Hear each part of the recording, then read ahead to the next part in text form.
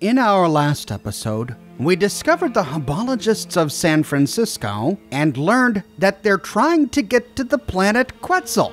To do so, they need fuel for their rocket ship, fuel that the Shi has.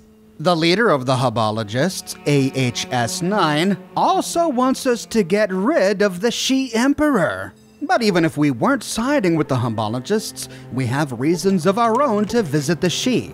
We need fuel for the PMV Valdez, the tanker that is the only way we can reach the Enclave, whom we learned are on an oil rig in the middle of the Pacific Ocean. And so we head northeast to visit the final place here in San Francisco, the Steel Palace. Passing beneath a Chinese archway, we arrive indoors. Doesn't look much like a palace, looks more like a vault. Heading inside, we see a room to the left, but there's nothing in here. So, continuing down the hallway, we pass through a deactivated force field to arrive in a large room.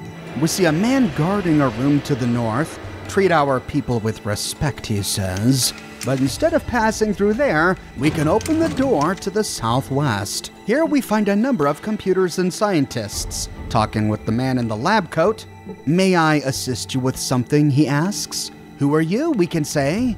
I am Dr. Wong. I am the head scientist of this installation. We remember Dr. Wong. We briefly visited him in my video on the oil tanker. He was the guy that had Chip's spleen. If you missed that episode, uh, long story. Well, what do you do here? We can ask. And he says, I oversee the scientific experiments we create and run here. I'm also in charge of the computer network.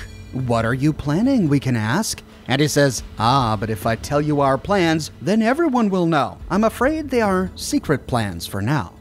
All right, we can say, well, how does one get access to the computer network?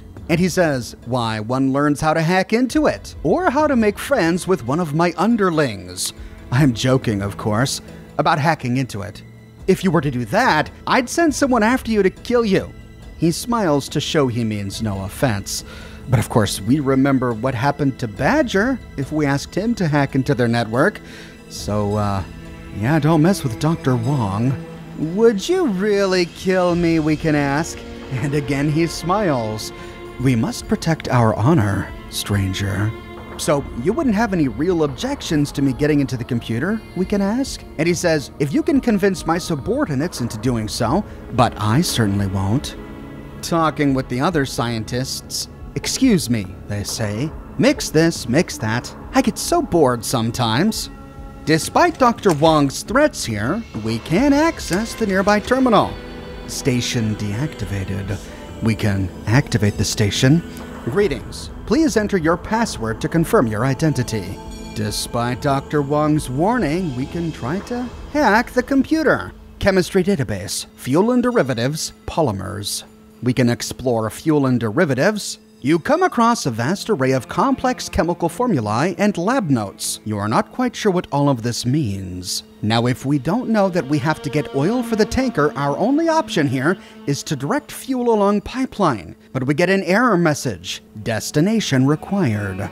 If, however, we know that we need fuel for the tanker, and if we know that the Hubologists need fuel for their rocket ship, we find two options. We can direct fuel to the Poseidon tanker, this completes our quest. We get the fuel we need, and we can move on to the Enclave. Or we can direct fuel to the Hubologists. Fuel directed accordingly. Storage tanks empty. Closing program.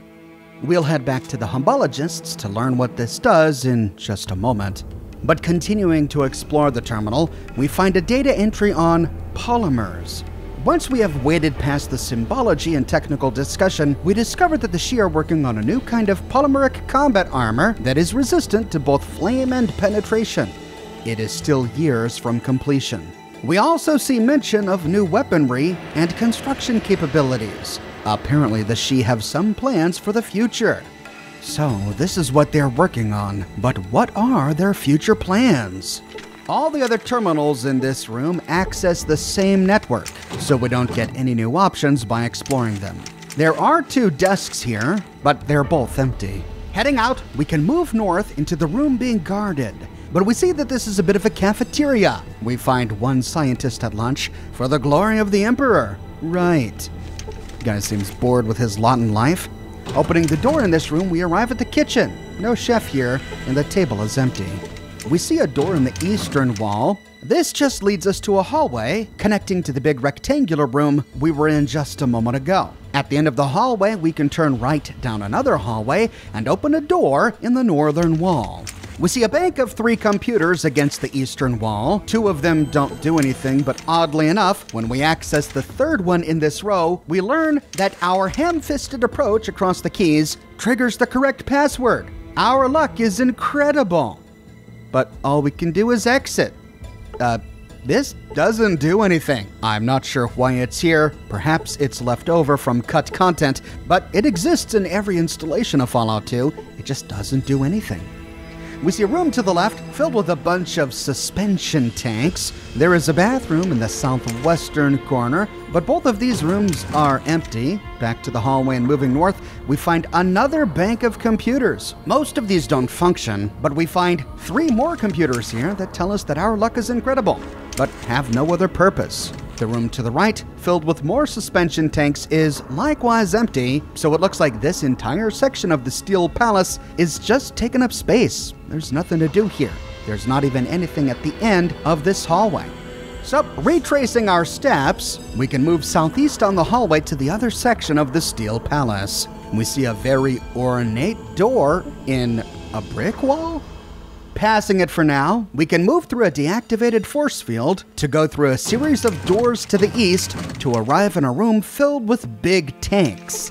This must be where they store the fuel. In this room, we find a number of tables. They're all empty, and despite finding valves on the wall, there is nothing in this room we can interact with. So, retracing our steps, we can go back through the doors and then open a door to the south. We arrive in another lab. Most of the scientists here just share the same dialogue. Funnily enough, if we hacked into their computer, even if we didn't move any of the fuel, they know about it. I want revenge on the hackers, says one of the scientists. The man we want to talk to is the white coat standing near to the southeastern wall. Who are you? What do you want? He says. I am Oxhorn, we can say. I'm just looking around. Well, Oxhorn, do you actually have business here? He says. I would like to know what you do here, we can say. And he says, I create compounds and devices for the Emperor and for the Emperor's advisor, Ken Lee.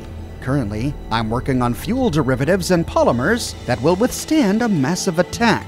Of course, this is of no interest to you, since it is, for the most part, theoretical. Now, if we don't know that we need tanker fuel yet, or if we have not been to the Hubologists, our only option here is to say, not yet, it's not, but I'll be back. But if we've been to the Valdez and we know we need tanker fuel, we find an option to say, actually, it is of interest. I'd like fuel for the Poseidon oil tanker. And he says, You want fuel for the tanker? I want hardened power armor. I understand a Hubologist, one called Crockett, has a process whereby a regular suit of power armor can be upgraded. Get me such a suit, and I will divert the fuel for you. However, if we already used the chemistry terminal to divert the fuel, he instead says, Even if I wanted to help you, I could not. Our fuel reserves have been depleted. Perhaps you would be better off asking the Hubologists for their help. Goodbye. If we have not diverted the fuel yet, and if we are a Hubologist, we find a different option here. We can say, I'm here to obtain fuel for the Hubologists. And Jing says, They want fuel, do they? Well, as irritating as they are, they do have their uses. I have heard that they have developed a process wherein they make a suit of power armor even more invincible. If they will upgrade such a suit of armor for me, I'll pass the fuel along the pipeline. I assume it's for their toy spaceship. It is the one called Crockett that you will have to speak with. So he is willing to trade the hardened power armor for fuel for the tanker. Jing here is the subordinate who Wong told us about. And to convince him to give us the fuel, we've got to give him hardened power armor. If we have a suit, we can say, I have one right here. And he says, You have hardened power armor? Excellent. How do you want to be paid? We can sell the suit for 20,000 bucks, in which case he says, So much? Ah! Yet, for such a powerful suit of armor to study, very well. Here's your money. Or, if we have not already diverted the fuel to the tanker, we can either have him direct it to the tanker or to the Hubologist spaceship. This is yet another way to get the fuel, but it's an expensive way. I need that suit of power armor for my companions. So, leaving Jing for now, we'll try to find another way. The scientists are really miffed over being hacked. Someday we'll find out who hacked us. All of the terminals in this horseshoe shape are deactivated. We can't access any information on them. And the three desks nearby are empty. But the three terminals against the eastern wall are accessible. But these access the chemistry databases, just like the terminals in the other lab. So we find nothing new here. Opening the southeastern door, we arrive in a barracks, lots of bunk beds and a table. And opening the last door in this room, we arrive in an observation room where the scientists can overlook the fuel tanks. But this is a dead end. This leaves one place left to explore.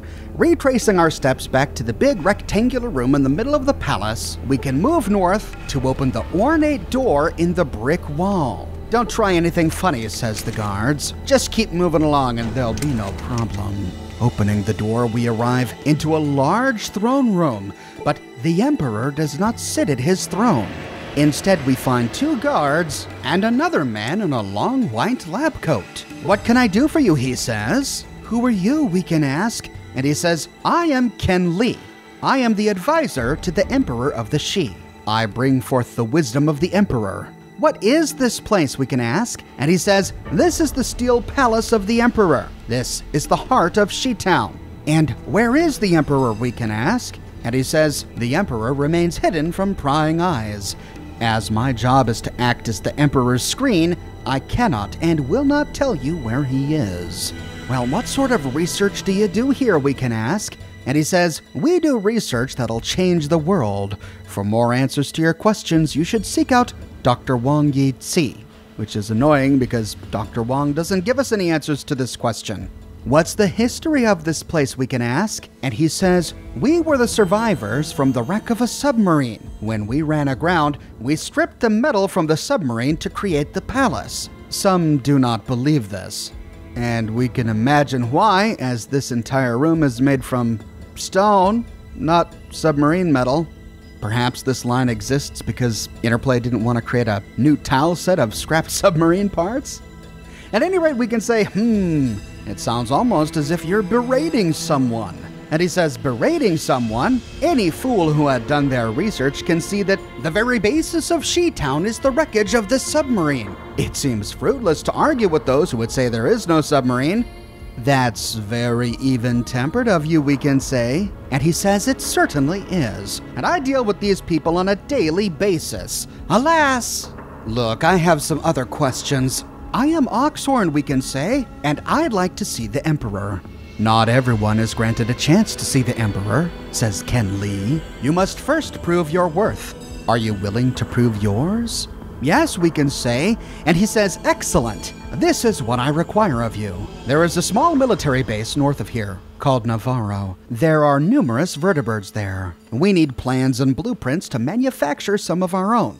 Fetch those, and you will be on your way to seeing the Emperor. You got it, we can say. And he says, once you have obtained the vertibird plans, give them to Dr. Wang Yi Tsi. He will put them to good use.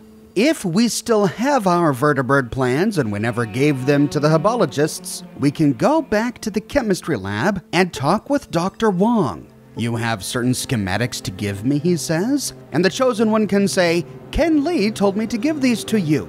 Speak to Ken Lee, says Wang, and he shall discuss what happens in your future. Thank you. We shall be able to verify some of our test data with these. Good day. Then going back to the Emperor's throne room and talking with Ken Lee. Thank you for the vertibird plans, traveler, he says. What can I do for you? Can I see the Emperor now, we can ask? And he says, You must complete a second test. The Hubologists are our enemies. Their leader, AHS 9, has been abducting and brainwashing our children. Kill him for the good of the Shi, and I shall tell you how to speak to the Emperor. He's as good as dead, we can say. I am anxious to see the result of your attempt. Good day, he says. Oh man, now the Shi want us to kill the leader of the Hubologists. Note that if we ask him about the fuel after having already diverted it to the Hubologists, he says, I wish I were able to offer you our fuel, but unfortunately our stores are empty. They have been diverted by some means to the Hubologists. It is possible that you would be able to find someone to divert it back, in which case we either have to work with Badger, if he's still alive, or Dave Handy, if he's not bugged, to steal the fuel from the Hubologists and send it to the oil tanker. If, however, we already gave the vertibird plans to the Hubologists, Ken here says, Our spies report that you have given the vertibird plans to the Hubologists. Steal them for us, and you shall be rewarded.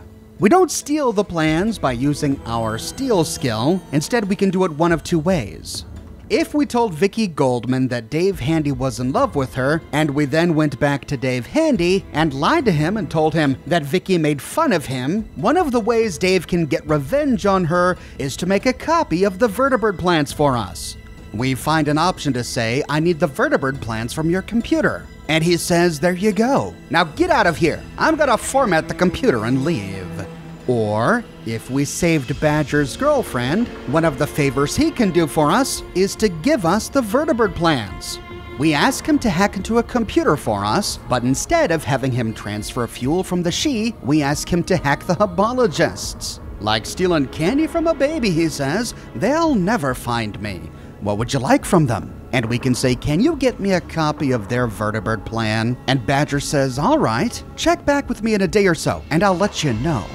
One day later, when we return, he says, Got the hubologists. No problem. Need anything else? Did you get what we needed? We can ask. Yeah, I got the Verdi plans, he says. Thanks a lot, we can say. See ya. Either way, we can take them back to Ken Lee and turn them in as if we never gave them to the hubologists to begin with. We get a similar quest that is resolved the same way if we chose to give the vertibird plans to the Shi, but then later decided to work with the hubologists, and we get a quest from them to steal the plans from the Shi. We resolve it the exact same way. Back in the Steel Palace and talking with Ken Lee, if we want to, we can admit to him that the Hubologists sent us here to kill the Emperor. The Hubologists have assigned me to kill the Emperor. And Ken Lee says, Have they really? Perhaps you would like to turn the tables on them. I can promise you our aid if you will agree to kill AHS 9. He's as good as dead, we can say.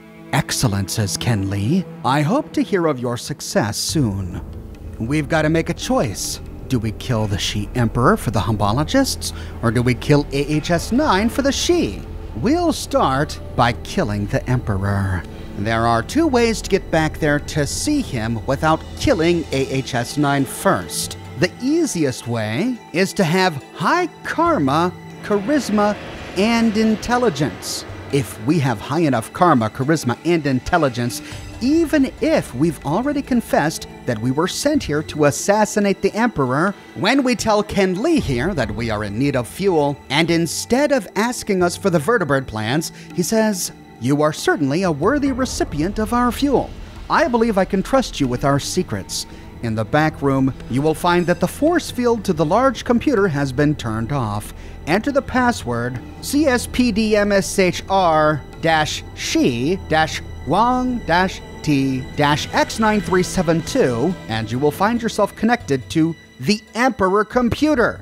The Emperor will be able to direct our fuel to where you need it. The Emperor is a computer? And Ken Lee says yes. It stores our history, our research, and projects possibilities for the future. It is far better than any fallible human. Yet we temper its suggestions with our own knowledge of human nature. I see, says the Chosen One. Well, thanks for your time. I have a village to rescue. This is a pretty difficult karma, intelligence, and charisma check. Even with high levels of each, we can still fail it. We may need to save before talking with Ken Lee and try a few times before we can pass it. If we can't pass this karma, intelligence, and charisma check, aside from assassinating AHS 9, the only way to visit the Emperor is to just walk through this back door. But if we choose this option, we find the force field enabled, and we have to disable it. There is a room at the end of the hallway here, but there's nothing in the bookcase or any of these containers. And if we use our repair skill on the force field, we can disable it without turning the nearby Shi Guard hostile. In this room, we find the Emperor of the Shi, a computer, and we can access it. Greetings. Please enter your password to confirm your identity. If we didn't get the password from Ken Lee, and if we have enough science skill, we can simply hack into the computer. But if we got the password from Ken Lee, we find it at the top of the list Shi Huangzi, the name of their submarine. Either way, we gain access. And from here, we can do anything. If we choose geolocation, nothing seems to happen. We find a response that asks us, What do we want to locate? But our only option is back it's supposed to give us the option to locate our missing tribespeople, in which case it tells us that they're on the Enclave oil rig, but I couldn't figure out how to get it to give us this option. Perhaps it only appears if we haven't already learned where our tribespeople are. But next up, we can go to diagnostics. Choosing a network scan, we find three different stations chemistry, biology, and physics.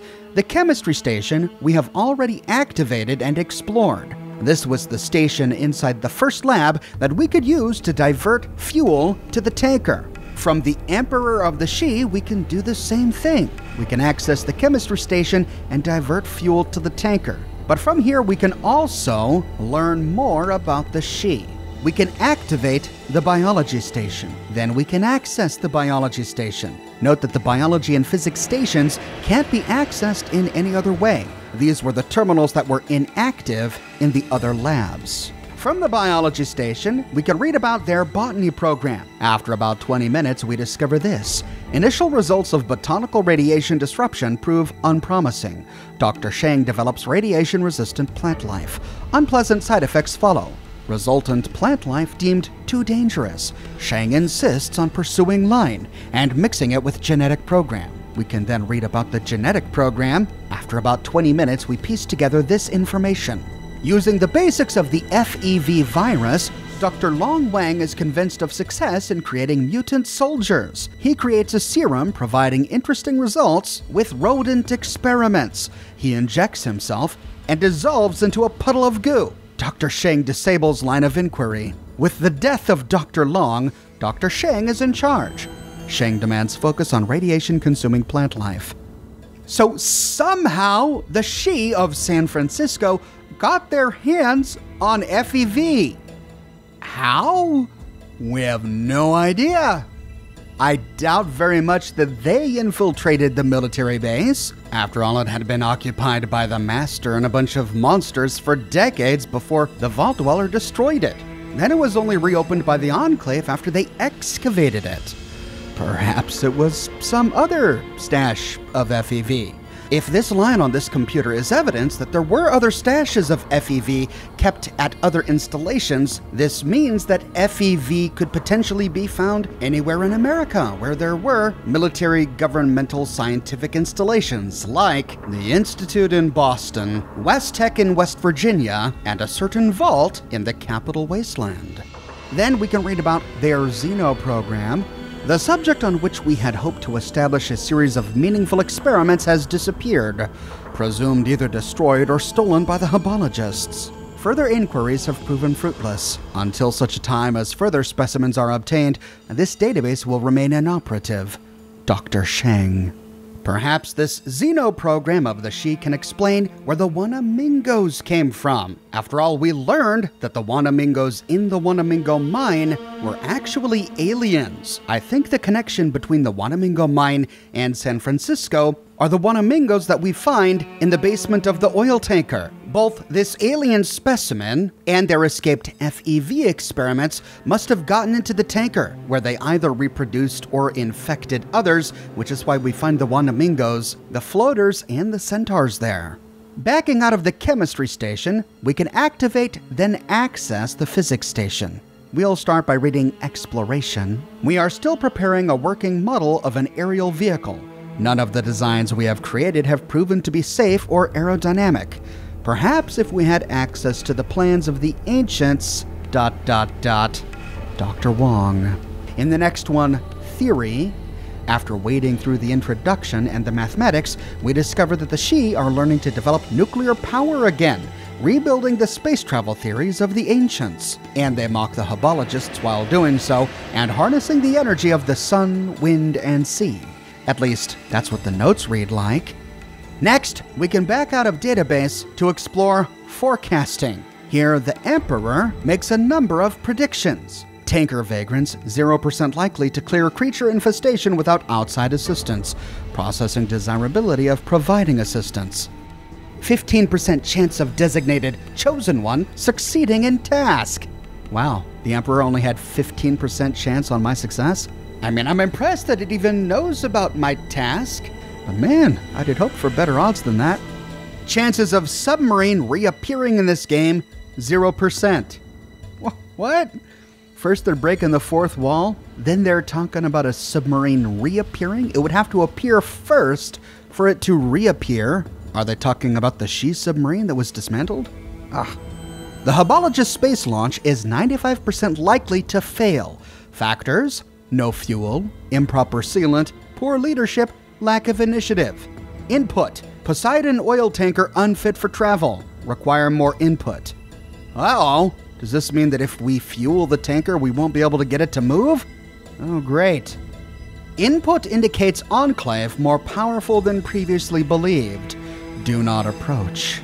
The Emperor has two more forecasts based on your character's choices. I couldn't get them because I'm not a child killer and my karma was too high. If your character's a child killer, one of the forecasts is the children of Shi Town are in danger. 50% chance of Slayer moving among them. And if our character has too low karma, we get the forecast danger has come to Shi Town. 75% probability of harm coming to residents. Finally, we can move back to diagnostics and choose check hard drive integrity. The functional integrity of this system is 92%. The shielded core of the Emperor computer is 100%. The integrity of the data is 100%. The forecasting node is suffering minor power lags. Projected time to repair 6 days. Forecast 15% operational. I suppose that explains why we were only able to get a few forecasts. Now, the Hubologists told us to kill the Emperor. How do you kill a computer? Well, if we want to side with the Hubologists and kill the Emperor of the Shi, we can choose the option to format the hard drive. Format drive. All data will be lost. Are you sure? Yes. Are you sure you wish to format this unit? This is an irreversible process. Yes. Formatting, formatting, formatting complete. Reboot requires full install shutting down, shutting down, complete. Now, if we chose to kill the Emperor of the Shi by formatting the hard drive, or if we use the Emperor computer to transfer fuel without permission, then the guard in this room turns hostile. May the Buddha have mercy on your spirit. I'm sending you to the hell of burning metal. We now have to fight our way out of the Steel Palace killing every guard along the way. Incidentally, because the Hubologists don't know that the Shi Emperor is a computer, we can achieve this part of the quest by simply killing Ken Lee.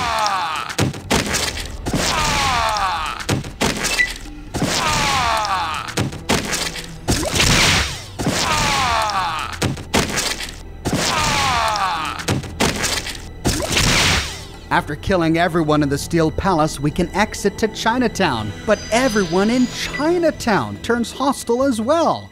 We now have to find our way through Chinatown.